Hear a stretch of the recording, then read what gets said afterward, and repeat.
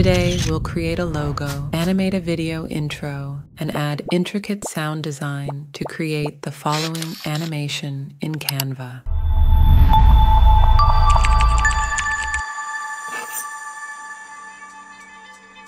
Let's get straight into it. Open Canva and create a new design. I'm using a 16 by 9 video crop, but feel free to follow along in whatever dimensions suit your project. Let's first change the background color of the canvas. With the page selected, open the color selection tool and choose one of the gradients from the bottom. Click on the color tool again so we can edit the gradient colors. The key here is to keep it subtle so we don't distract from the main elements of the design.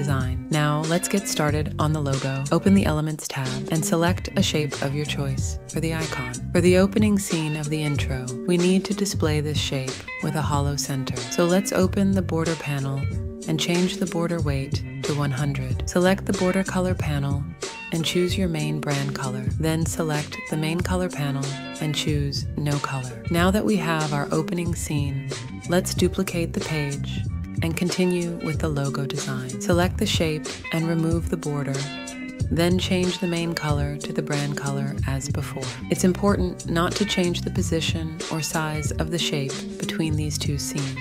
Open the app section and search for the Type Extrude app. This app allows you to add a 3D extrusion to your typography, making it ideal for creating unique logo designs. Type your initials into this section, and as you will see, we can preview the effect in the bottom section. Let's change the font to Briarwood and make minor adjustments to the parameters here. Of course, you can experiment with different combinations for your own design. Click on Add to Design, resize, and center it over the shape layer.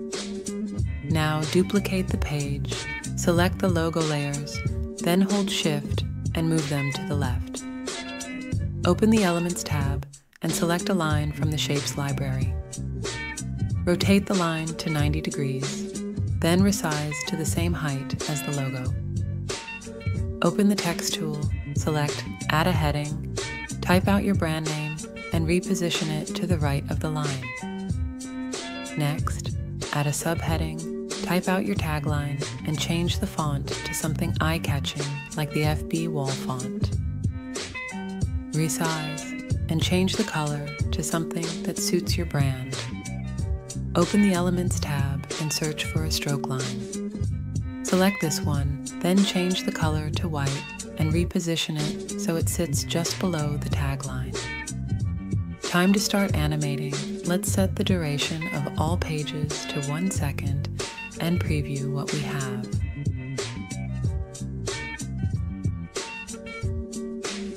Let's spruce things up a little.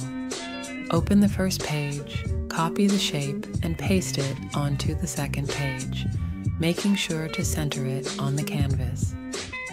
Hold Alt on your keyboard, then enlarge the shape until it is larger than the canvas. Hover between pages 1 and 2 to select the Transitions panel and place a Match and Move transition between the pages. Open page 1 again and select the shape, open the Animations panel, select the succession animation, making sure On Enter is selected. Open page 2, select the Position tab, and in the Layers panel, select the text layer. Open the Animation tab and select the Blur animation. Let's preview the opening scenes. Let's move on to page 3. Place a match and move transition between pages 2 and 3. Select the line shape and give it a baseline animation. Make sure to select a direction that animates from bottom to top.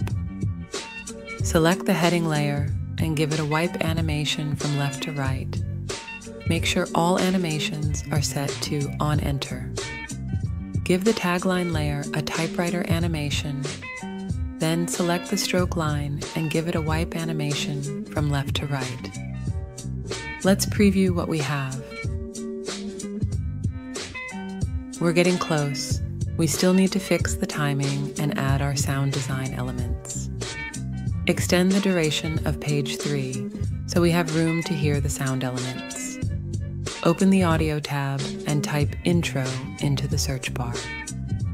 Here you will find a selection of suitable sounds and beats for this type of design.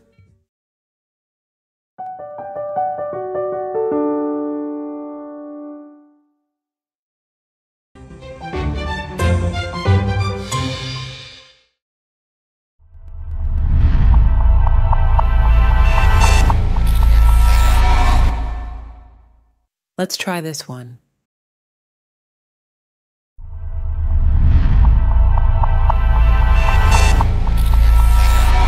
It sounds good, but I think we only need the first half. Find the section you don't want, then right click and select Split Audio, then delete the unwanted section. Now let's trim the start so the swoosh sound matches the transition.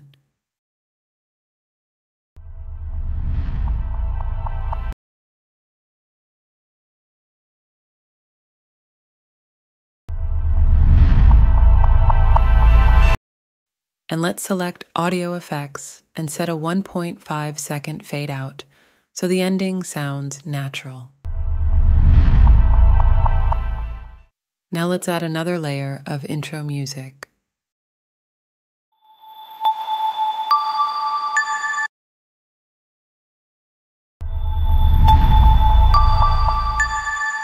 This one fits nicely.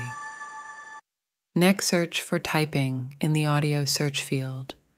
Locate the start of the typewriter animation layer and place the sound effect in line with the beginning of that layer.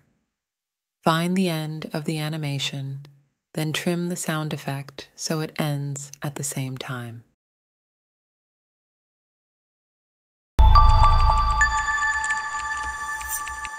You may need to adjust the volume if it sounds too low.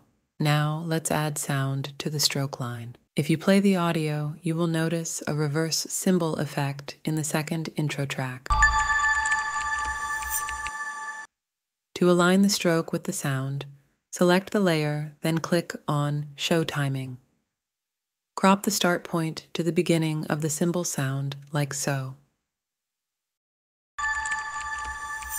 For added effect, open the Audio tab and search for pencil write 6.